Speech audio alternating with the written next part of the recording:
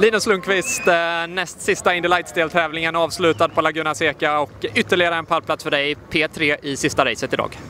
Ja, ytterligare en pallplats. Eh, hade ju som sagt velat eh, att vi kunde avsluta med min vinst här på Laguna Seca, men vi visste också från igår att vi, vi saknade lite fart, kanske speciellt mot, eh, mot Kyle och Andretti, så vi, vi gjorde ganska stora setupförändringar med, med hopp om att vi kunde hitta lite fart och försöka närma sig om honom, men eh, jag tror att vi gick lite för långt så ja, det gick bra de första två, tre varven och sen efter det var det bara att hålla i och försöka hålla undan från Frost som var bakom, för jag visste att eh, farten kommer inte finnas där för att kunna utmana varken David eller honom. Men jag är ändå glad att vi försökte något. Det är det man måste göra ibland om man inte riktigt har den här speeden. Så eh, ändå kul att komma iväg med en pallplats härifrån.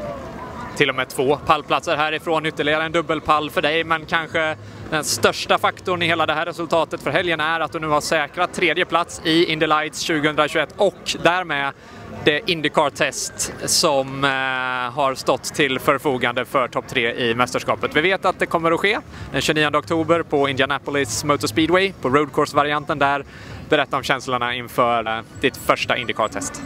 Nej, men det, det känns jättebra. Eh, och som sagt, vanligtvis så kanske, i alla fall för mig så spelar det mindre roll om man blir tvåa, tre eller fyra i mästerskap. Men eh, här i Indy Light så gör det ju faktiskt skillnad. Som sagt, topp tre får ju ett test i Indycar så det ska bli riktigt, riktigt häftigt att, att få göra ett ordentligt test på, um, ja, på IMS och roadcoursen där som jag känner till ganska väl.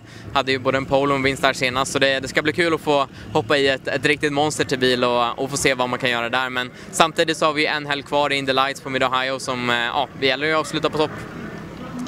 Vad tror du att det här Indycar-testet eh, kan betyda för dig sett till var du står idag och framtida karriärplaner? Ja, time will tell tänkte jag säga. Vi får väl se. Ehm, men eh, jag tror inte att det kommer skada om vi lyckas göra ett bra test och är snabba. Så mycket kan jag väl säga. Sen hoppas jag väl att eh, det kan väl utkristallisera sig lite redan innan det. Men eh, testet kommer nog ha ganska stor påverkan också blickar framåt mot Midohio Mid-Ohio och finalhelgen om två veckor för er. Hur hoppas du, förutom det uppenbara, att få två bra resultat i Mid-Ohio, att kunna avsluta den här säsongen? Ja, utöver det, jag vet inte om det är så mycket som sagt, utan det, vi går in och försöker slåss om vinster och sen hade det varit kul att se också om vi kunde ha gjort en förbättring från förra gången vi var där, för då kändes det som vi saknade lite, lite fart mot Andretti-bilarna. Så um, det hade varit kul att se att vi, vi kunde göra ett steg i rätt riktning och sen, vem vet, vi kanske kan vara med och slåss om både pole och vinst.